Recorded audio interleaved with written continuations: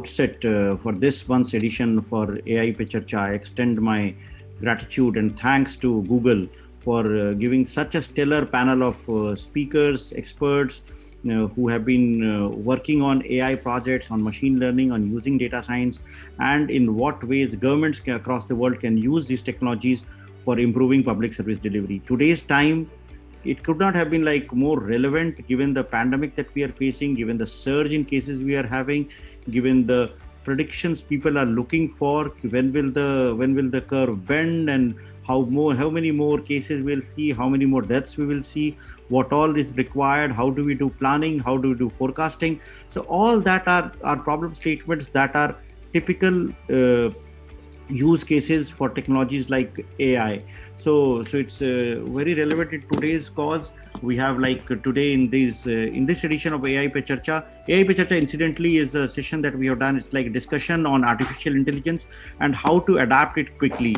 And especially in the public space, what we need to do is that while the researchers and the technologists across the world in our universities and all are working on developing new tools and techniques for AI and machine learning, but how do you make use cases uh, widespread? How do you do adoption of something. I believe I read about something that Google had done for flood forecasting in Bihar, Patna, and that that that that experiment can be replicated elsewhere. It can ensure that people get the right advisories well in time in order to save lives, in order to save livelihoods. So, the, so similarly in the agriculture science, we have had several applications of AI in which uh, farmers are given predictions with regard to when to sow, what to sow, uh, how much fertilizers they should use, and about disease uh, diagnosis also, in which they can click pictures of uh, the leaves or uh, whatever disease they are seeing in their crops, send it by image, and then they can get a reply back with regard to what they must might be doing to address that. Similarly, in healthcare, there have been several applications of AI, whether it's in the field of diabetic retinopathy or breast cancer diagnosis.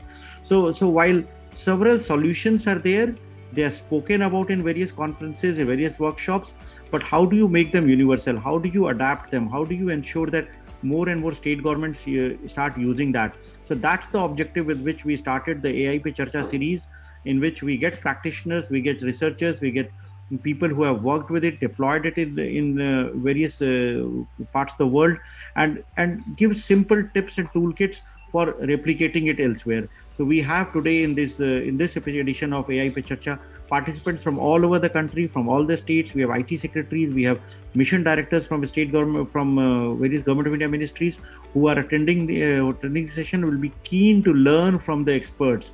In the earlier editions of AI Pe also we have got experts speaking on language technologies, on natural language processing, on diagnostics, and trying to use it for various applications in the field of AI and machine learning.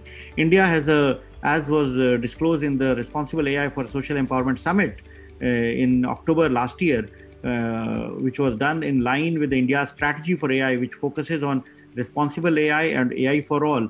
The endeavor is that we need to build upon the skilled workforce that we have in the field of AI give them the right tools and give them the right uh, right learnings from researchers across the world in order to ensure that better solutions can be developed and any solution that is developed at population scale in a country like india becomes uh, ideally suited for deployment anywhere so with this in the background I welcome all the speakers today, all the panelists. We have a very uh, stellar lineup of speakers, and some of them are have joined in from the US where it's pretty late in the in the evening. So I am extremely grateful for all those who, for, for Christine and Josh who have been like, uh, if I can use the phrase, burning the midnight oil to ensure that we learn from them. So we must make uh, maximum use of it, and we also have our own experts, uh, the globally renowned experts in the form of Manish Gupta, Rajesh and Alok who will be sharing the insights into that. So I welcome all of uh, all the participants and all the speakers for this session of AI Pe Charcha. And with this, I would request now Manish Gupta, Director Google Research India, to give his opening remarks. Uh, thanks, Abhishek, uh, for this opportunity.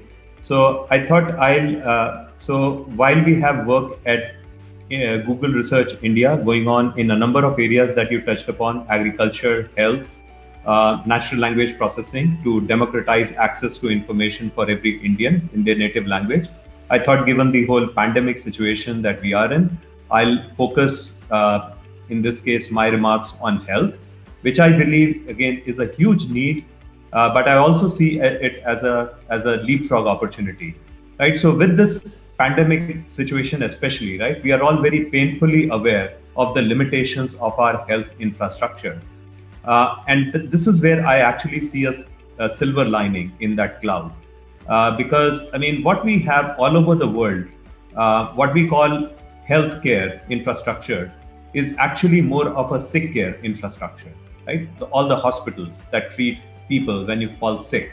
And ultimately, what you need uh, and what AI can enable are, are these more proactive healthcare systems where you are uh, focusing on preventive health, you're focusing on early diagnosis and taking timely action.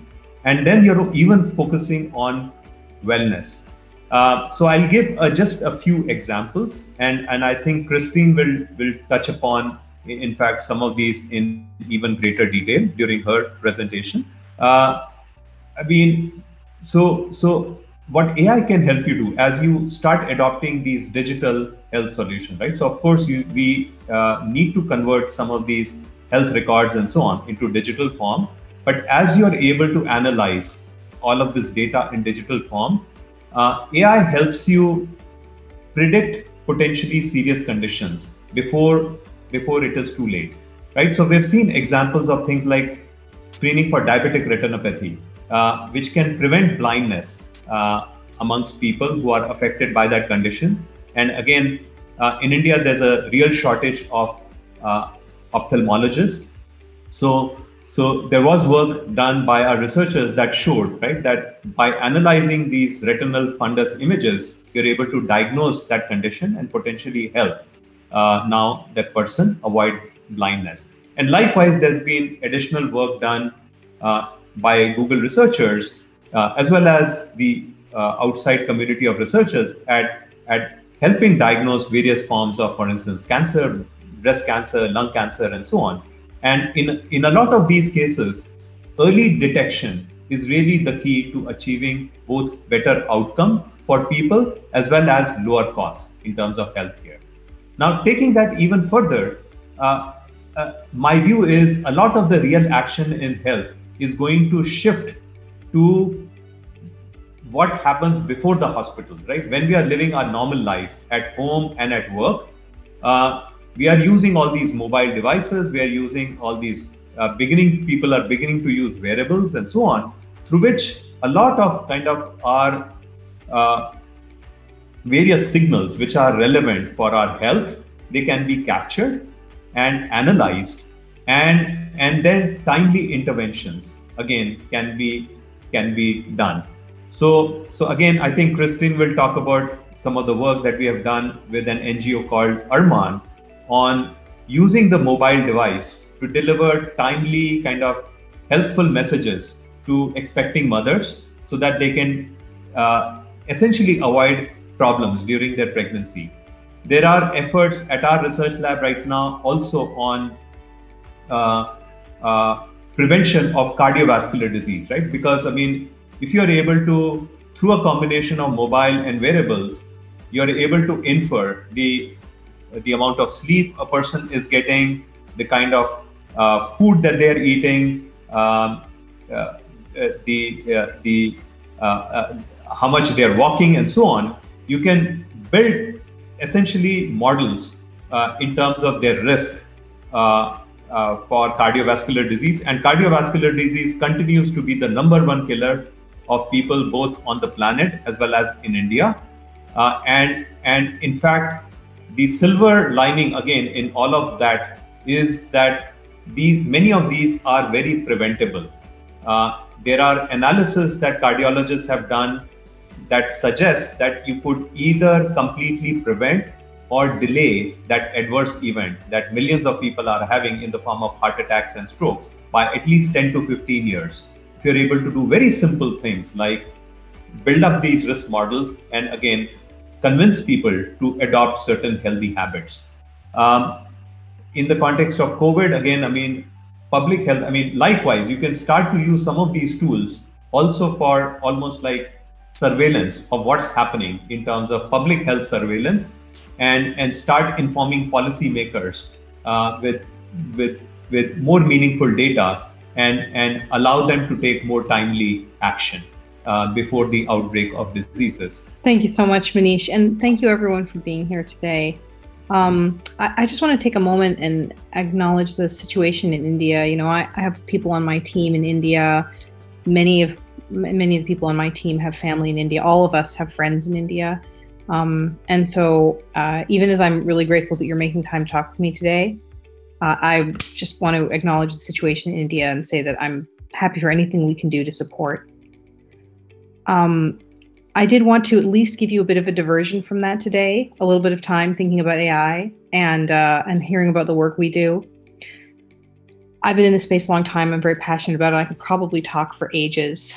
Um, you know, um, as we are saying at the introduction, you know, I, I have uh, sort of a, a, broad history in this space. Um, and my focus right now is really as close to the research as possible, looking at some of our, uh, our real fundamental innovations. And that's what I wanted to talk through with you today sort of some of the beginnings and the foundations of what we're doing, and looking ahead to the future, not just at the products we have today, but some of the direction that I see us going. So, some of the questions that I, I thought would be good to tackle today is just like a, a high level look what is machine learning? What can machine learning do? And then looking from there, like what are the kinds of advances? How do we do this responsibly? And like how can we make these applications in a way that really benefit everyone? Um, so so just uh, just touching on that a little bit. Uh, it sounds like you guys have already had quite a few introductions to machine learning, but I find that there can be a lot of confusion about exactly what AI and machine learning are. So, just to level set my view on machine learning, which is sort of how we think about things at Google, artificial intelligence, which gets a lot of play in the press, is this general concept of how to make things smart. That's the science involved in, in, in artificial intelligence. But the kind of work that we focus on at Google is machine learning, which is basically techniques that learn from data. And when you think about things that you would be able to learn from data, you're really looking at sort of input and output. You know, it's a very programmatic approach, and it's a question around how can we do better at giving better output for different inputs. It's basically a big math challenge that's wrapped up in that. And as an example, um, you can think about it as if you're trying to design a system that's going to produce the best output, like you're going to do spam classification in email, you could think about it with a rules based system where every time you see spam, you flag it as spam and you learn certain keywords like Viagra is usually associated with spam, and you could learn it that way. And then you end up with a really long rules list. But it's far more effective to develop a system that can sort of learn on the fly and adapt based on the data it sees and not just be stuck with these handwritten rule systems. And that's really at the heart of most of the machine learning that we do. And if you build upon that, you basically get into a bunch of different use cases. And I'm going to walk through a few examples of those use cases for you today. Um, specifically, I want to talk to you a little bit about classification, prediction, generation, and language understanding. Uh, classification is the first. It's pretty simple to understand it's what we do every day when we look at the world. We can take pictures or we can take data and we can try and predict with some level of certainty what's in the data, what's in the image. So if we look at pictures, we can try and predict whether we're looking at a picture of you know, a gas station, a grocery store, a restaurant. If we're listening to a sound, we can try and identify whether what we're hearing is bird song, is someone talking, and what language it might be. Um, so we try and, and do these do these take these signals, these data signals, and predict what's going on inside the signals. And one of the products you may be familiar with that uh, that's done this very successfully. This is a project that we first came out in um, summer of 2015. Is Google Photos, um, and the the magic to me. I use Google Photos all the time, uh, particularly for family photos. The magic to me is that you can search for photos rather than having to file them and index them. So if I just want to find all the photos of my kid eating watermelon, I can find those photos. Or if I'm trying to remember that specific photo that one time at the birthday party with a friend of mine, you know, I, I, can search for that specifically and it'll search through all of my photos and try and classify which ones meet that criteria and pull it forward. And this is a this is a hugely powerful feature, just speaking with my product hat on, that really unlocks search features for you and can really unlock access to multimodal data. So it's a very exciting use of AI technology um, that you know we just frankly get really excited about. And then, of course, closely tied to classification is prediction. In classification, we're trying to predict what the classification is, or we can just do predictions straight up. Um, and you know, Manish was talking about this earlier, but the, um, the the flood forecasting work that we've been doing is a fantastic example of prediction. Um, this is work that we've you know obviously rolled out in uh, in Bihar as well as in several other places, and just looking at exactly where we think that we're going to see different things happening, where we're going to predict floods, where we're going to predict. Uh, there's so there's so many different things that we would try and use predictive um, predictive processes for. They're basically based on how much data we can get and how we can find patterns in those state in that data. Um, this is an image taken from, I'm probably going to mangle the name, apologies. Um, I think it's the Bhagalpur district um, in Bihar. And uh, we're really trying to improve our real world accuracy. Um, currently, right now, our, our, flood systems cover about 42 million people, um, which has been uh, really fantastic. But we're working to bring these models more accurately to more places and to roll it out to, um, to more places in the world because we really see the power and potential of this technology. Um, moving on, just to try and give you this glimpse of the breadth of things that we that we like to do with machine learning. One of my favorite things is around generation, and this is uh, definitely something that's more at the cutting edge right now. Rather than trying to look at existing data and predict what's happening or predict what we can pattern match from it, we try and generate, we try and create something new that we've modeled based on previous images. So we can try and generate text from videos, try and improve accessibility, captioning. We try and generate language. We're translating one language to another. Uh, and then one of my personal favorite projects is uh, generating musical melodies. Uh, you guys uh, may have seen this uh, last year for um, the India National Celebration. We had a huge, um, a huge project where uh, you could sing the Indian national anthem, and we combined these together in a in a musical learning experience that I thought was pretty fun. Jumping ahead to translation, I like to use translation as a specific example of the kind of ways in which machine learning technologies stack. Because this is really combining a bunch of those different aspects that I just talked about. So, first there's classification. Can we understand what's going on in this image? Then there's prediction. Can we predict what language we're we're trying to translate from? And then there's generation. Can we generate the new word in the new language and then seamlessly insert that into the image? And so, if you've ever traveled uh, to a country where you don't know the language, or in particular, if you don't know the script, even, this is a hugely powerful tool. Um, you know, I've definitely used it traveling internationally, you know, understanding the meaning of signs. And this is the kind of moment for me that really brings home why I work in this space because even to me working in this space my whole career this feels like a magic to me you know? You're, holding up your phone and like seamlessly on your phone the translation happens. But actually we're just using several of these models you know we've got generative models and predictive models and classification models and we're just stacking them together into a beautiful product experience that really solves a user problem in the moment that they have it and that's what's the most exciting for me about AI, trying to trying to combine these different approaches and bring it together and really move the needle for people at the time when they need it most. Um, I, I'm going to give you one more example, which is just talking about more broadly some of the work that we're doing right now in language understanding.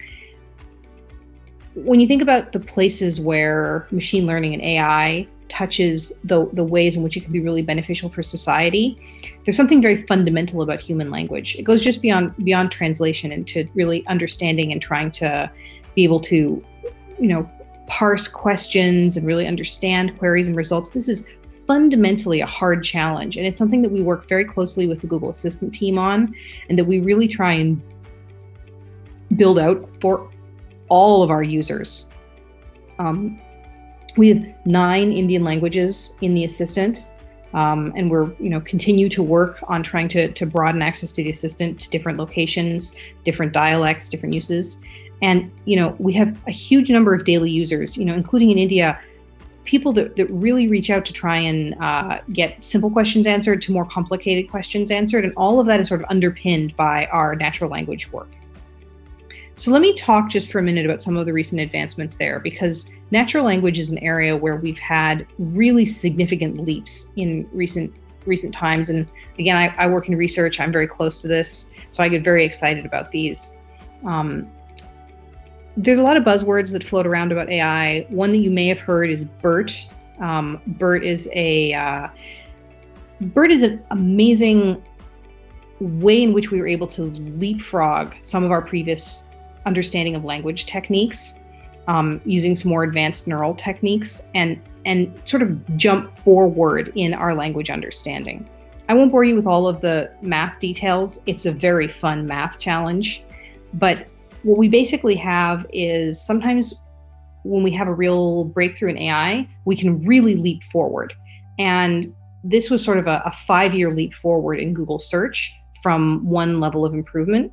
And that's the kind of thing that I hope we continue to see more and more of in AI is, you know, these moments where we find something we can do that pushes forward a whole bunch of fronts. So this pushes forward language understanding, which pushes forward search, which can push forward translation. And it just creates a cascade follow-on effect.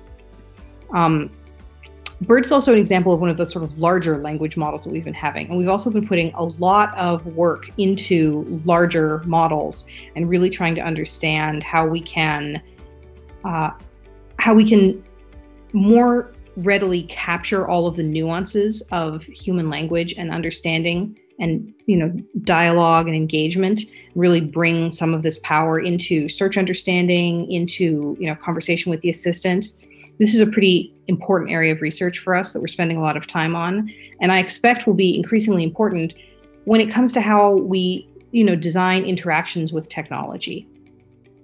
Uh, another project that you may have heard about that's been uh, definitely a huge and impactful research project is around federated learning. Um, federated learning is one of the ways in which we sort of separate personalization of models from models that are on the cloud. So when you think about, you know, working with machine learning systems, and you think about the way in which we do modeling, the way in which we handle data, you know, typically there's a lot of information stored on the cloud for these systems, but you also want to have a, a local, more personalized copy where you know your phone knows it's you your phone has you know aspects of the model which can be personalized for you can be very useful in voice technology in particular and uh, it's actually quite challenging but very important that we manage to separate these out. And we have a huge project around federated learning to enable this specifically. It's one of the most important tools we have in our privacy arsenal. Um, and then uh, finally i'm just going to touch on a couple of uh, almost more hardware specific things that are really forward looking because I think a lot of times when we're working on AI, we're working on machine learning, there's a tendency to think just about the software, just about the code that's going to be written that's going to empower this. But a lot of the advances that we want to make, they do require significant improvements in, in hardware as well. Um, we have a couple of projects going on right now that I'm very excited about. One is our quantum project, um, where we have just an, you know an incredible series of leap forward in quantum computing. Uh, I'm not going to try and explain quantum computing in this short time period, but suffice it to say that it's very exciting, and it's a a whole new style of computation and a whole new way of thinking about program design. It's it's a it's a fundamentally different way to think about computer programming, and we think it's going to be very powerful for the future development of ML systems um, and a variety of other applications. And then the second is uh, looking at sort of purpose-built hardware accelerators that can really improve, you know, AI machine learning workloads specifically. So when we think about the clouds of the future, we think about the kind of computation that's going to be done in you know clouds in the future you really see this proliferation of machine learning models and so google has invested very heavily in our tpu line working on you know dedicated hardware that you know takes sort of the fundamentals of AI um, computation, sort of the, the linear algebra, to come back to my math roots, that you do as you know a regular part of machine learning, and it makes that really efficient and and is really designed to be able to do that kind of computation at scale, and that's that, that's really enabled us to make many of these breakthroughs. Um, so just you know what's next in AI looking forward. Obviously, there's a lot more research to be done. Um, I'm particularly excited about some areas, including um, working with small data sets, generative models, um, you know, continuing the research that, that we and others are doing on chips. And then, uh, you know, this kind of broader questions of understanding the real world, understanding language, understanding, you know, images and video perception technologies.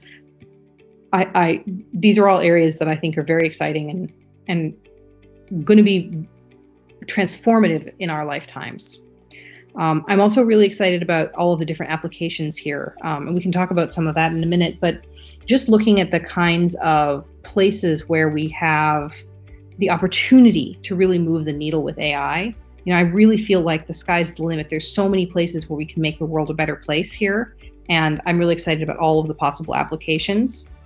And likewise, I really want to see uh, a beautiful interaction with our users. You know, looking at this with my product lens and and thinking about how we want to impact our users in a positive way and um, really encourage this collaboration. It's it's very core to what we try and do and to, and to how we're building these systems. Um, and probably one of the most important pieces of that, from my perspective, is responsible AI. I, have been working uh, in this space for a long time now and have been very involved in Google's AI principles, which is a you know, uh, it's basically a charter for us about the kinds of work that we are and, and, and are not going to try and do in AI. Um, sometimes I think it really helps to just just really write it down and, and take a look at what we're really trying to do here because it's not, you know, uh, it's not always as simple as just saying like, oh yeah, we're gonna we're gonna do good things. We're not gonna do bad things. I think it really helps to write this down, and uh, so we, you know, uh, Google's worked very hard to get a um, Google's worked very hard to get a thoughtful approach to this. I would say, with a lot of input and cross-functional leadership. And our goal is to provide AI that is socially beneficial, that avoids creating and reinforcing biases, that's built and tested for safety and accountable to people, incorporating privacy design principles with high standards of excellence, and then just generally according with all of those principles, everything we build should be available. And that that really combines with our open development mentality. You know, our goal is not to build AI just for Google. Our goal is to build AI to push the whole industry forward, to push the whole world forward. And when we work on our AI systems, there's a lot of structures that we have in place to try and ensure that the work that we do upholds those high standards and is adherent to our AI principles. So working both with all of the, the product areas, all working in tandem. We have dedicated team, responsible innovation team that works through these principles um, that I work with quite closely. And we also have a number of senior executive advisors, council members, folks who are really subject matter experts in these areas that can consult with us on this. We take our responsibility in this space very seriously. Um, and one of the things that I, I've personally been very invested in is putting together the kinds of tools, techniques, and infrastructure that will enable us to set high standards for responsible AI. So looking at, you know, our open source tools around an, an analysis, uh, data cards, um, all of our work understanding, you know, constraints and building models that detect bias, and, and frankly, just testing. Testing is a huge part of this, and I feel like there's a a lot of work we do in computer science where we sort of test right at the beginning, but we don't always test continuously as we you know as we get more data as we continue to do these things. And it's this mentality around testing and around continuing to see how our models operate that i think is really critical as we go forward. Um, i have just a few more things that i wanted to share with you. And of course they're very close to my heart because they're in india. Um, we have a lot of investment. Obviously, Google has a lot of investment in India, and we have a lot of exciting AI work that we try and do um, that we have done in India, you know, working with Manish and his team, but then just more broadly, we um, one of the reasons that we open sourced TensorFlow was to see if we could get a lot more people using machine learning for a lot of different uses. And we've seen such a fantastic proliferation of use cases of AI in India, both you know that we've been working with directly um, uh, at Google, and that we've had a lot of partners working at. And this is just so fantastic. Um, we uh, when we look at all of the use cases that we see here, right? There's sort of use cases across all of the sectors. We see people using this for healthcare. You know, we ourselves are very involved in a lot of healthcare applications. There's agricultural applications, uh, governance applications, environmental applications. Um, to me, the exciting thing about AI is really that the sky's the limit. I have a couple of my favorite projects that I wanted to highlight to you. Um, one project, and I have young kids, so this is very close to my heart, is just looking at how we can increase outreach to mothers and reach them at a time when we're really going to have potential interventions and make sure that maternal health resources are available to everyone. And so we have some models that we use to try and understand how we can reach out to mothers more effectively and really try and, and target in that preventative way to make sure that mothers are getting the support that they need. Um, because maternal health care is such a huge huge challenge. And eh, to me the whole statistic around maternal death and how you know almost 90% of maternal deaths are avoidable if only mothers receive timely intervention really motivates this work for me. And so i'm really excited that we're participating in it. Um, another project, you know, we, we talked about this before, um, especially with the, the flood modeling that we've been doing in, uh, in Bihar. But, uh, and that project began in 2008 with our flood forecasting models. We've had a huge investment in this because floods are such a such a devastating effect. Um, you know, there's you know tens of billions of dollars in economic damages every year. Um, you know, thousands of people um, perishing in floods every year. This is a huge crisis that affects hundreds of millions of people around the world. And so we use machine learning in a lot of different places. First, we try and do better modeling just so that we can do better prediction of of um, of the um, of when floods might occur. Um, second, we have a project specifically around coverage where we're trying to reach out coverage. And actually, in, in June of last year, we had an important milestone with our systems extending to all of India just in time for monsoon season uh, to be able to alert, to target and alert any possible flood in um, combination with the government systems. And then the last thing that we do is, is a, a smarter Android notification system. We've sent out about 30 million Android notifications to people in flood affected areas so far. Um, and those sort of targeted notifications are another huge way in which we're trying to make progress on this huge global challenge um, for which we really think AI can be a core of the solution. Um, Manish is, I think, going to speak a little bit more, but uh, it's been so wonderful partnering with him as the head of our Google Research India team. We have a lot of fantastic work going on there from pure research to product engagements um, and in particular, uh, on this new product innovation, some of these examples that we've seen are AI for social good work, working with health, working with agriculture. And that's just a small part of Google's overall, you know, real investment in India. Um, our CEO, Sundar Pichai, recently announced a $10 billion India digitization fund. One of the big focuses for that for us is AI. And we believe that there could be huge social impact, um, particularly in agriculture, healthcare, and education. Um, those are areas that we really see a potential for huge impact from AI and are really excited to work on. Um, just just one more example, because I can hardly resist giving you more examples of these things. Is um, we have an AI-powered uh, read-along tutor app, uh, and it's built specifically for India users. And students learn use the app to learn to read on their own. And uh, you know, when you see children, you're learning to read on their own using this app, uh, learning to read a new word in Hindi for the first time. It's it's so exciting, and we really started this project in India. Now we're rolling it out to uh, 180 countries. Children learning to read in nine languages.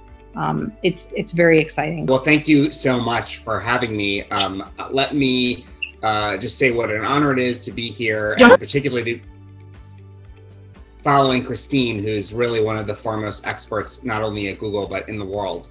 Um, unlike unlike Christine, I am not uh, an expert in artificial intelligence, um, but I did have the experience of helping agencies in the U.S. government um, to apply and adapt these technologies, and that's the main thing that I want to talk to you today about the use of these um, technologies in the public sector and some of the challenges that you may encounter as you try to apply these to the incredibly important missions that you have. Um, so if we could, uh, we jump aside. So my, my, background, as I mentioned briefly, is I, I worked in the U.S. Department of Defense, um, and I got to help uh, create an innovation advisory board that was actually chaired by uh, the former CEO of Google, Eric Schmidt. And I helped develop the department's AI strategy, its AI principles, which were largely influenced by Google's principles, established the Joint AI Center, um, helped to establish the National Security Commission on Artificial Intelligence, which released a 750 page, quite superb report uh, only uh, a few weeks ago. And I worked with the White House on helping them develop AI policy and strategy for the whole US government. Um, so I, I, got to see a lot of the challenges, and I want to share some of those uh, learnings with you. So if we could uh, jump to the next slide. Um, so at its core, as you heard from Christine so eloquently, um, th- this is a new technology for solving problems. And what the what the people of India expect from their government leaders is to try to help them apply the latest technologies to solving urgent problems. And obviously today, all of us around the world are experiencing the crucial role the government needs to play in protecting the lives um, of, of their citizens. Um, so if, if we'll go to the, the next slide, what you can see uh, is that machine learning tools are, are very useful for narrow applications today, um, largely applications of perception and reasoning.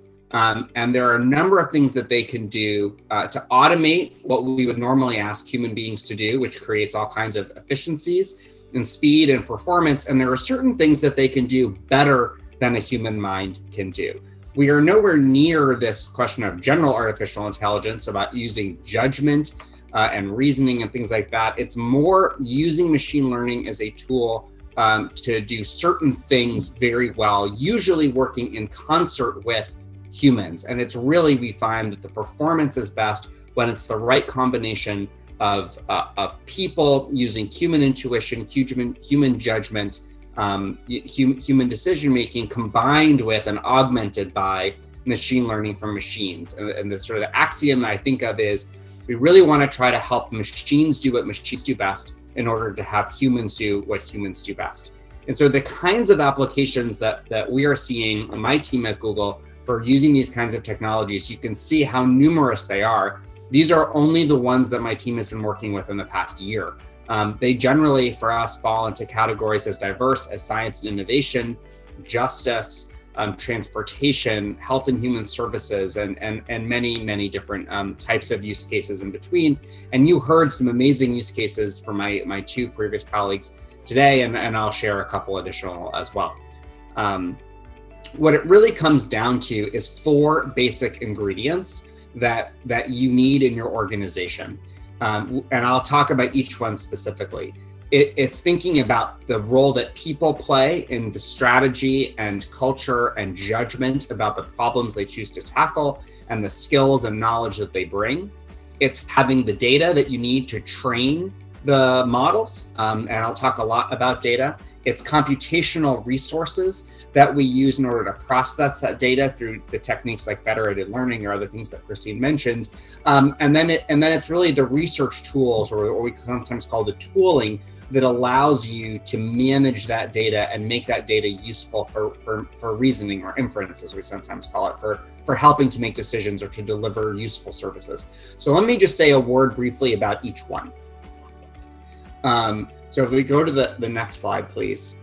Um, you know, people is really the area where, where I focused. And you see this very important chart on the left, the innovation adoption curve.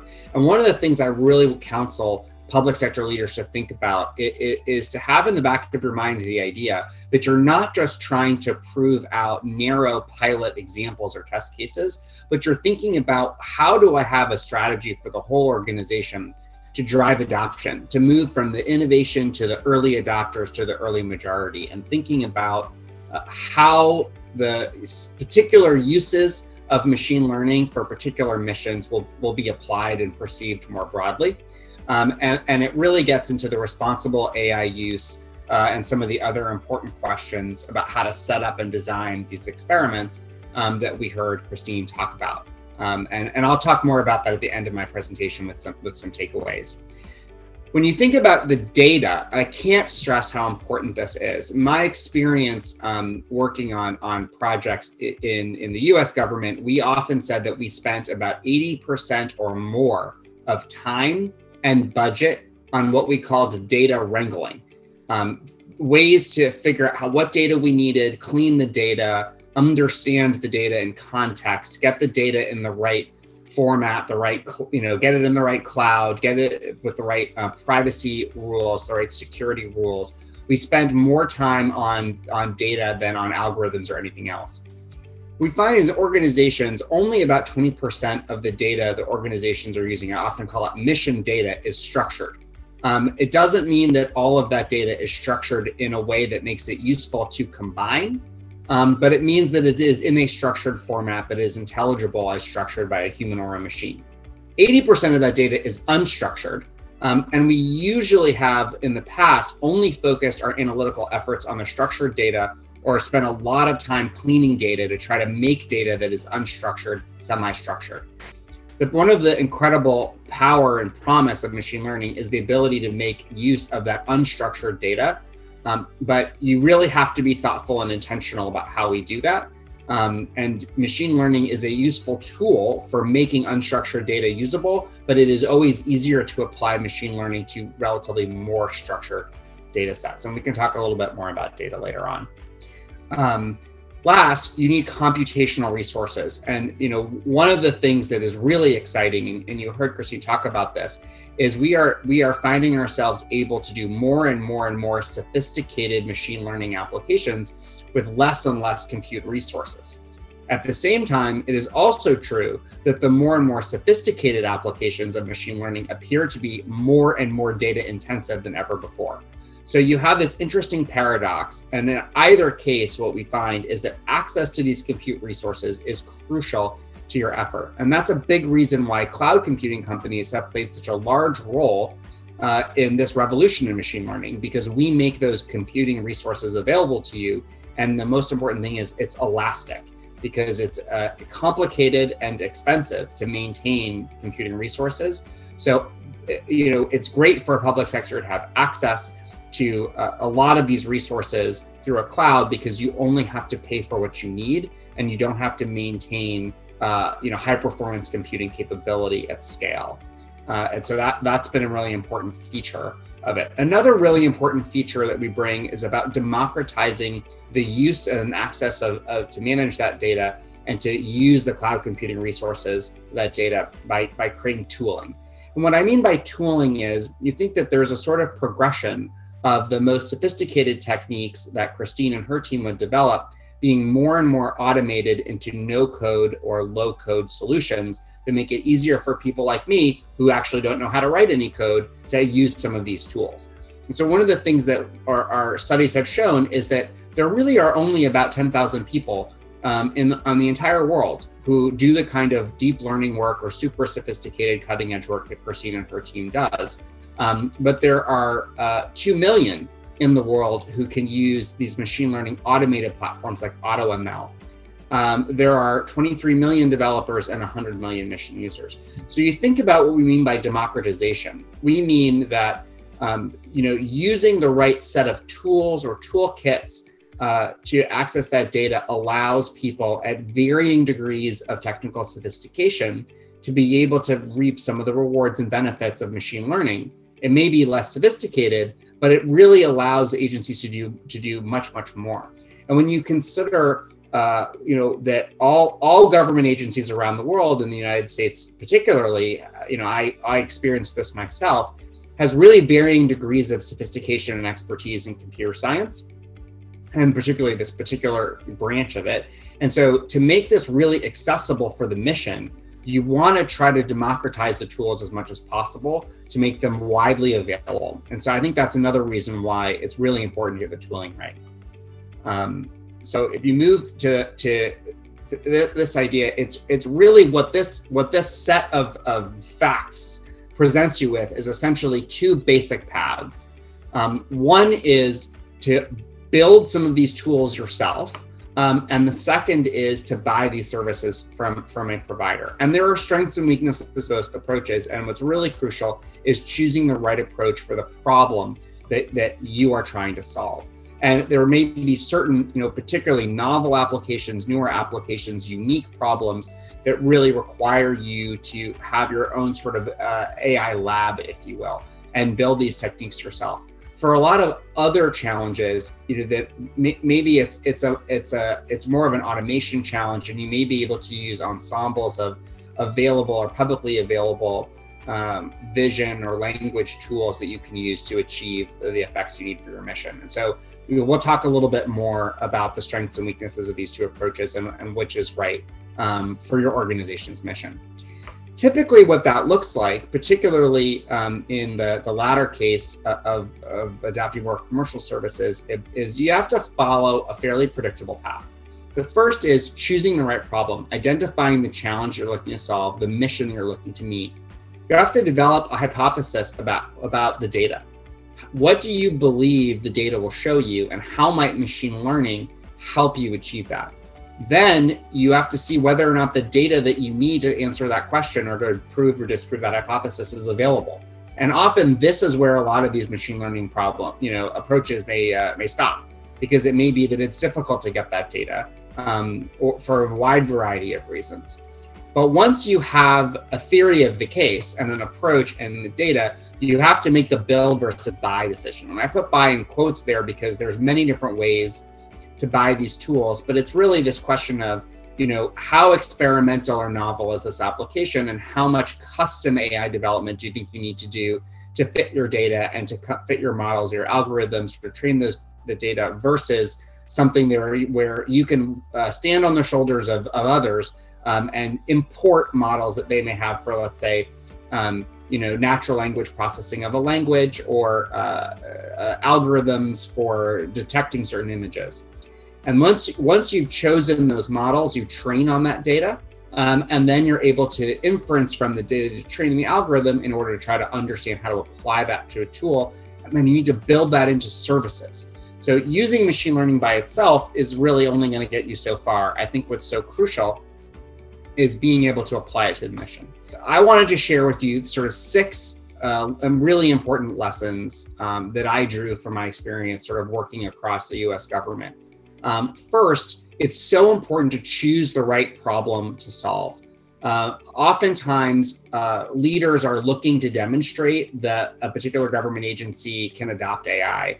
And so they often choose problems that lend themselves to, to applying machine learning because that's the objective they've been given. But they end up sort of winning the battle and losing the war because they didn't actually choose something that was either specific enough or meaningful enough to deliver a mission outcome that people really cared about. Um, and so, or they, or they may choose something that people deep, care deeply about, but it's such a complex problem. Um, we often talk about how machine learning doesn't always escape the lab because there may be you know, uh, you know, scientific organizations or research organizations that are working on machine learning or trying to understand the state of the art of machine learning in academia or, or uh, you know, companies like ours, but they're not actually solving a problem for, for a citizen. And so we think choosing the right problem to solve um, is so important. The second lesson we learned is really the crawl, walk, run, and this gets at what I was saying earlier about you know, you know, novel AI applications versus um, commercial techniques that have been proven to work um, at scale across multiple industries or for other government agencies. And what I found is that it, it really often behooves the government to try to use um, open source tools or commercially available tools for automation to build confidence early. Um, once you have a few of these under your belt and you've experienced what the sort of unique dynamics are, um, of how to apply these tools to your mission and experience some of the privacy challenges or responsible AI challenges you may come across, or you've learned about sort of figuring out what's what's the right sort of multi-cloud strategy that you need to sort of figure out what kind of talent you need, then that's a really good time to progress to some of these novel applications. But I really encourage um, uh, you know partners in, in government to not jump right into the hardest use cases and and to make good use of the of the university or commercial resources that may be available to them um, where a lot of the kinks have been ironed out and it really helps you focus on the parts of the problem that are unique to the government challenge and then third I, I just want to emphasize this again it's really usually data is the thing that gets in the way um, so giving yourself enough time and enough extra budget cushion uh, and getting the right expertise, um, thinking through what we call the data wrangling, that is usually 80% of the challenge. So I think it's really important to, to factor that in as part of your strategy and your approach. Um, often I think people are focused on the algorithm, um, and actually I think it's the data that trains the algorithm that usually is so significant. Let's move to the last slide. And I just want to point out that as much as artificial intelligence is about this exciting new frontier of technology, um, and you know the most advanced machines, even even you know quantum computing, at the end of the day, human intelligence matters more for adapting artificial intelligence. Uh, one of the things that's been a huge challenge um, for for the U.S. government is getting access to talent pipelines, so that there are enough people in government who are really sophisticated about how to be a savvy consumer government does not need to be able to build all of this technology themselves, but they do have to have that cadre of people inside who can be savvy consumers of this technology to make sure government is getting a great value um, and really protecting the taxpayer dollars and protecting the public interest. And for that, you have to have um, you know, a, at least a, a small number of, of, really superb and well-informed uh, AI AI experts, and then and then you you need to have a bunch of people that can figure out you know how to be good partners with industry or academia. Second, transparency really matters. There are a lot of public narratives about AI um, that make people concerned.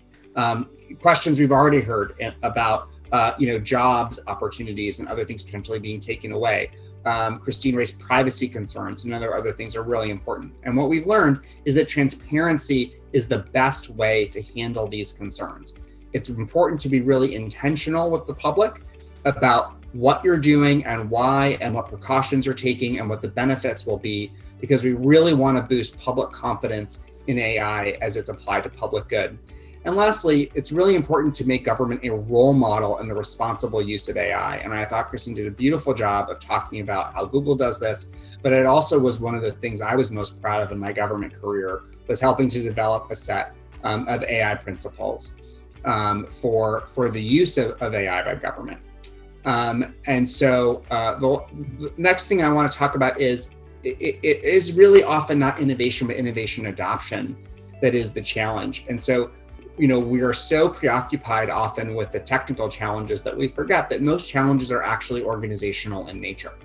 Um, you know there there are incredible ai researchers and amazing ai companies out there um, and they've often solved a lot of the really difficult technical problems um, for a lot of the mature use cases. Um, what we often find is difficulty is actually organizational in nature. Bureaucratic rivalries um, pro, you know, uh, various rules and regulations, um, all all kinds of challenges around, uh, you know, contracting and, and, those sorts of things. And so, don't assume that the most complex AI AI uh, tools that may be may be available to cutting edge researchers are not available to government because because they're too technically complex. That's actually not the issue. The issue usually is that um, government is is difficulty changing its behavior and adopting any new technology. And it turns out that machine learning is no exception.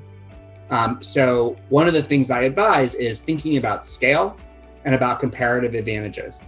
Really, the best thing for government to do is figure out what are the things that business is really, really good at, or that universities are really good at, and let the, let those organizations do those things and focus on the things that government is uniquely good at. And usually that is being being a good steward of public sector resources, um, being focused on a public sector mission, looking out for the needs of citizens, really knowing and having empathy for the needs of citizens, and trying to figure out how to address those issues in a partnership um, with a company. And that is really the way to achieve scale. What we've seen sometimes is that some governments really want to achieve that scale on their own. Um, and that puts them in a difficult situation um, because companies have invested a lot of money in building the scale, uh, scale and expertise of AI. Um, and so now uh, you know, we find that it's so important um, for government to figure out how to do what government really can uniquely do best. And then last, I would say AI is an ecosystem. Um, it's not a system that you can buy. It's not software that you can download. Um, it's not something you can hire a consulting firm to do for you. It's the ecosystem of all those things connected together. Um, and so I, I, think it's it's sort a combination of culture, people, expertise, responsibility, data, computing resources, all of those things together. And so it's best to think of it as an ecosystem. Thank you so much for the opportunity. Just wanted to share a little bit of context for how we're thinking about how AI can help in the current pandemic. Uh, I know we did mention in the intro that this is definitely top of mind for all of us at Google. Again, uh, the situation in India is very dire. So, really looking at how we can use technology to help support some of these uh, social issues give you a quick overview of how Google is trying to help policymakers during COVID 19.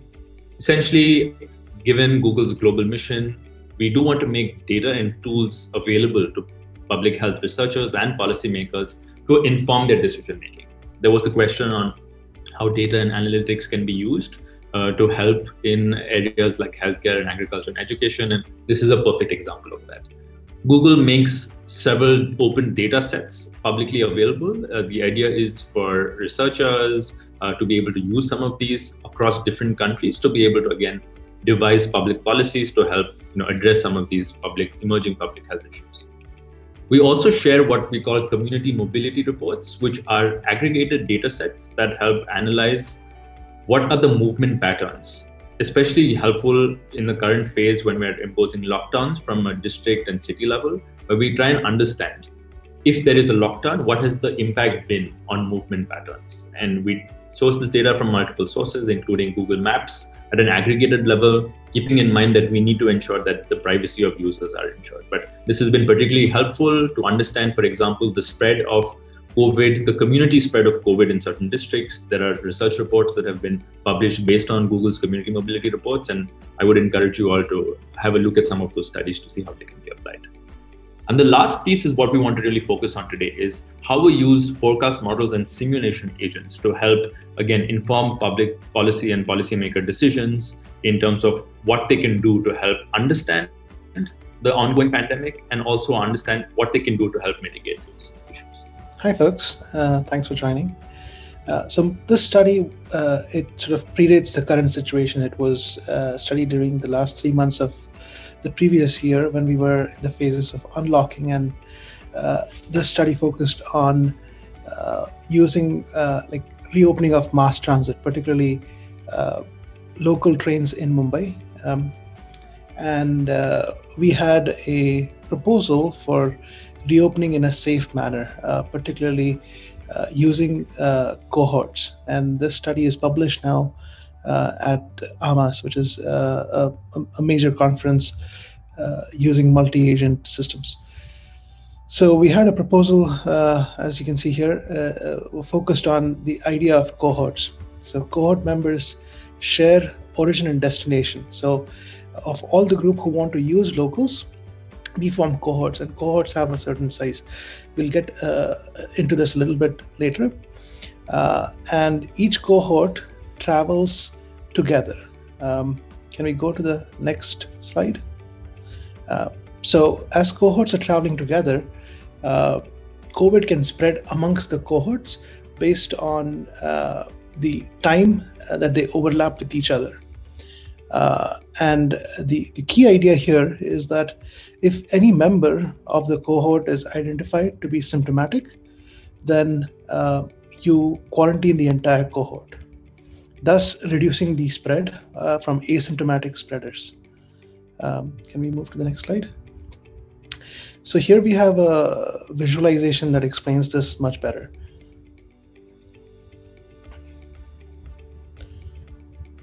So we divide the entire population based on their origin and destination uh, stations.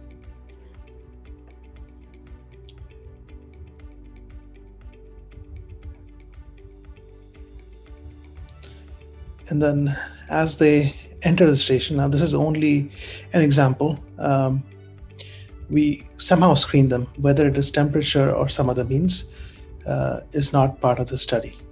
To what extent is that effective? So one could bring uh, such strategies uh, and uh, uh, see how they work in the uh, simulation models, and then that would enable us to compare strategy A versus strategy B. we think that this kind of a tool must be in the uh, toolkit of every city planner and every city uh, management. And we hope that uh, uh, going forward, these kinds of tools are used to a large extent to understand how uh, certain decisions will pan out and guide decision making. This is basically the basic math behind our modeling. to translate it into English, basically, um, COVID can transfer between two people uh, only if both of them are together sometime uh, and uh, and at least one of them has COVID and the other one is susceptible. Uh, next slide. Uh, like our, our, modeling is built on some assumptions, uh, uh, which is like our limitations of data. we only consider the, the BMC limits because that's what census data was available for. Um, so our trains only run within the limits of uh, BMC, even though in reality they run much beyond uh, the city limits. Uh, we don't model interactions at the stations, and we assume that we have an unlimited number of coaches. Uh, now, I would like to point out that uh, our study is fairly general. Like you know, it's like not, none of these things are very specific to Mumbai or to locals. Uh, this could be applied to any sort of means of public transportation in any city. And we, we expect these results to be fairly general. Uh, next slide, please. So uh, one other thing to uh, understand is that all models are wrong, but some models are useful. Is the famous quote, and this is true in our case, uh, assuredly. Um, the, the raw numbers that we had in all of our graphs are uh, most certainly going to be wrong. But the, the purpose of showing these things is not to focus on the raw numbers, but to understand the relative impact of uh, different policies uh, that we would implement and how they would affect the spread of COVID. Thank you.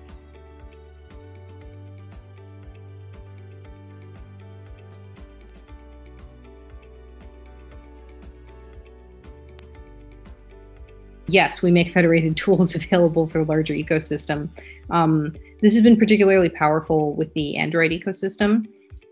Uh, when you think about the kinds of things that we expect AI to be able to do in everybody's daily lives, it still feels like we've really just scratched the surface. You know, um, there's lots of times when like you want to have really powerful techniques voice recognition, photo search, just, you know, anything that you're that you're carrying around with you in your regular life. And the potential to uh, to separate out your model so that you have more personalization, so that you have more privacy preservation, uh, has huge potential sort of across the board. And this is something that we've invested very heavily in and are really excited to see more use of, especially as we see more and more uses of AI.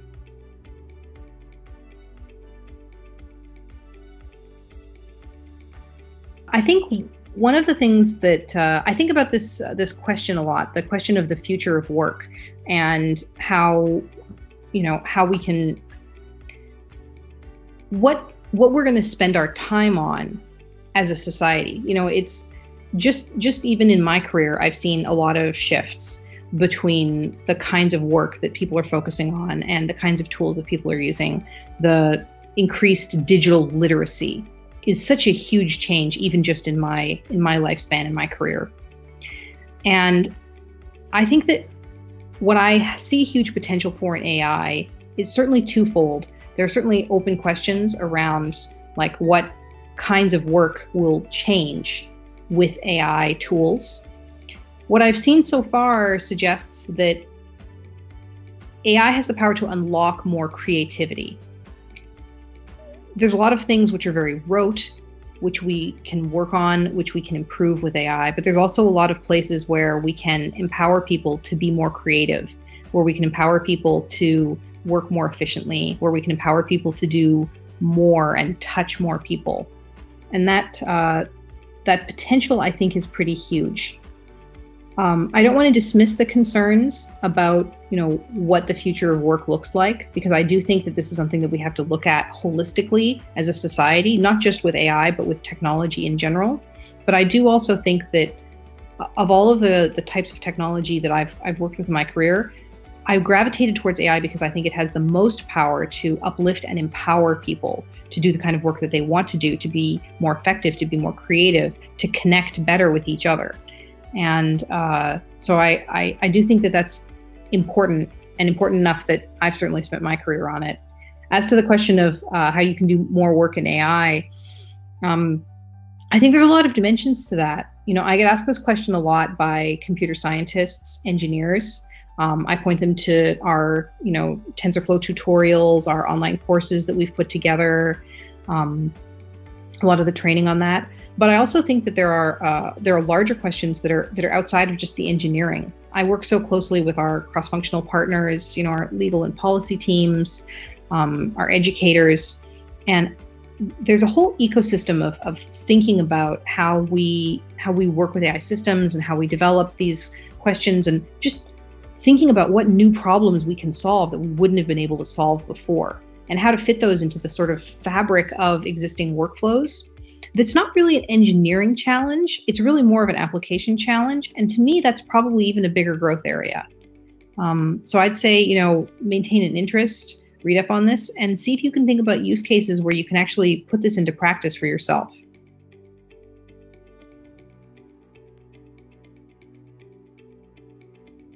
Definitely a huge and impactful research project is around federated learning. Um, federated learning is one of the ways in which we sort of separate personalization of models from models that are on the cloud. So when you think about, you know, working with machine learning systems,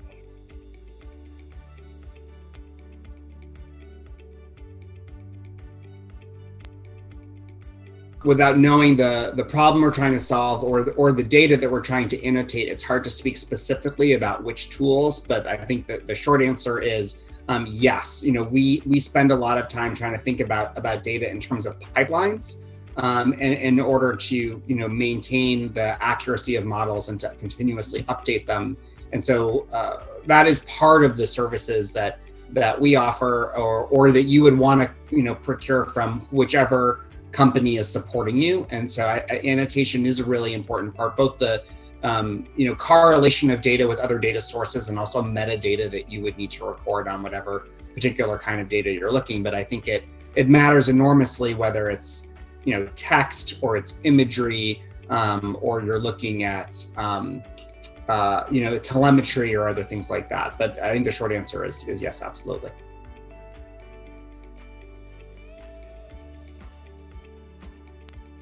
Uh, we could uh, um, take a look at, and particularly with Google's uh, uh, access to the kind of searches that people are making, uh, we should be able to um, gather evidence or intelligence on which areas are seeing a higher inquiry for perhaps certain kind of remedies and things like that. Uh, so that would be one uh, way in which we could uh,